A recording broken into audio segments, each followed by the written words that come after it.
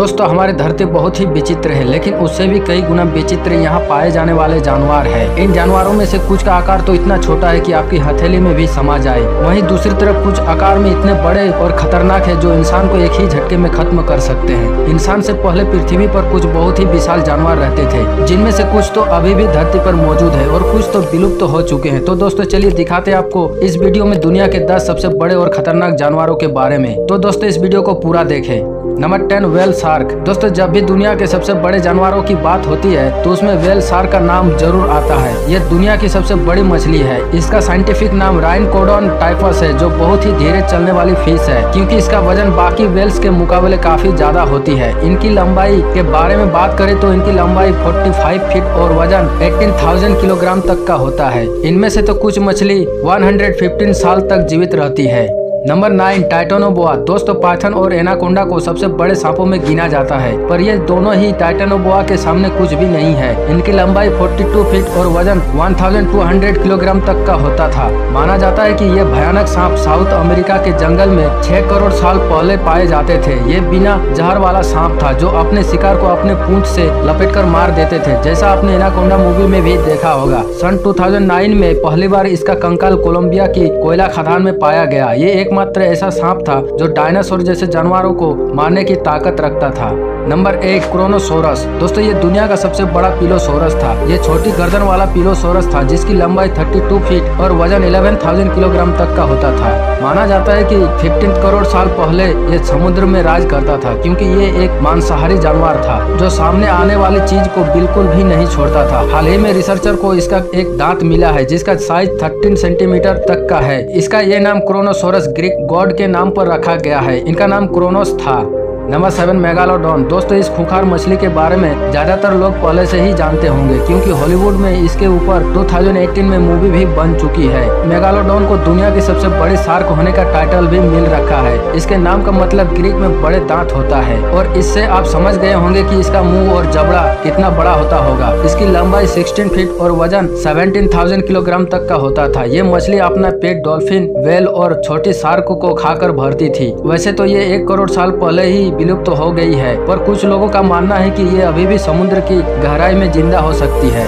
Number six spinosaurus. दोस्तों spinosaurus को 1993 के फ़र्स्ट जुरासिक मूवी में दिखाया गया था। स्पाइनोसोरस का ये नाम इसके बाहर निकलने स्पाइनल वर्म की वजह से दिया गया है। ये दुनिया के सबसे बड़े मांसाहारी डायनासोर थे जो 16 फुट लंबे और इनका वज़न 75,000 किलोग्राम तक का होता था। इतना बड़ा साइज़ होने के बावजूद ये शार्क और छोटे मोटे जानवरों को खाते थे। इनके अवशेष नॉर्थ अफ्रीका के कुछ स्थानों में पाए गए हैं, जिससे ये माना जाता है कि इनका राज नॉर्थ अफ्रीका और आसपास के इलाकों में ज़्यादा था। बात करें इनके विलुप्त होने की तो चार करोड़ साल पहले ही ये पूरी दुनिया से विलुप्त हो गए हैं।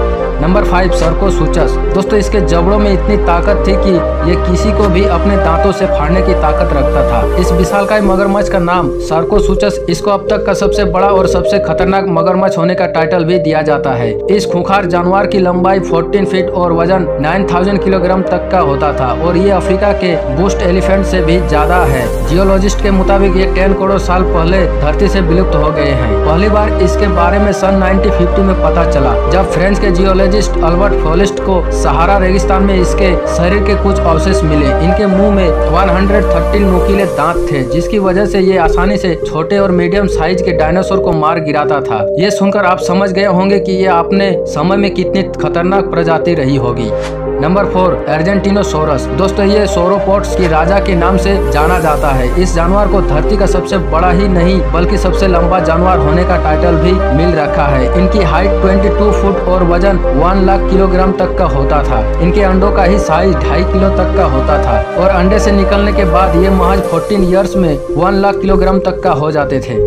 Number three the blue whale दोस्तों ब्लू वेल जानवरों की लिस्ट में सबसे ऊपर और हो भी क्यों ना? आखिर ये है ही विशाल और इतना शानदार की वर्तमान में इसे सबसे बड़े जानवर की उपाधि मिल रखी है। ब्लू वेल का वज़न one lakh sixteen thousand kilogram तक का हो सकता है और लंबाई हंड्रेड फीट होती है। एक हट्टा कट्टा हाथी भी इस जीव का मुकाबला नहीं कर सकता। इनकी तैरने की स्पीड थर्टीन किलोमीटर पर हवर की है। ये बहुत चौंकाने वाली बात है क्यूँकी इतने बड़े साइज़ के साथ हिलना भी बहुत मुश्किल हो जाता है।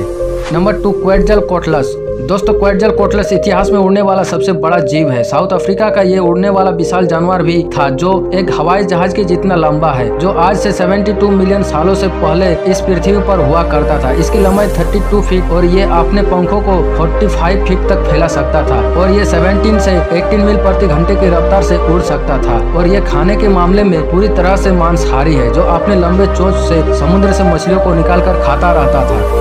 नंबर वन लाइगर दोस्तों लाइगर हाल ही में इंसानों द्वारा बनाई गई हाइब्रिड प्रजाति है, जिसे नर, लायन और मादा टाइगर के मेल से तैयार किया गया है। नई प्रजाति होने की वजह से अभी इनकी संख्या बहुत कम है, लेकिन वही जब आकार की बात आती है तो लाइगर अपने माता पिता दोनों को ही पीछे छोड़ देता है। इन्हीं लाइगर में से एक है हरकुलस, जिसका जन्म हुआ है यूएस के साउथ कोरोलिना में। ये एक जानवर है। अगर लायन और टाइगर की बात की जाए तो इनका वज़न होता है करीब फोर से सिक्स हंड्रेड किलोग्राम तक। वही हरकुलस का वज़न वन किलोग्राम है। इसी से ही इसके आकार का पता लगाया जा सकता है कि ये जीव कितना विशालकाय दिखाई देता होगा। दोस्तों, इसी तरह का वीडियो देखने के लिए हमारे इस चैनल को सब्सक्राइब ज़रूर करें। जय हिंद दोस्तों।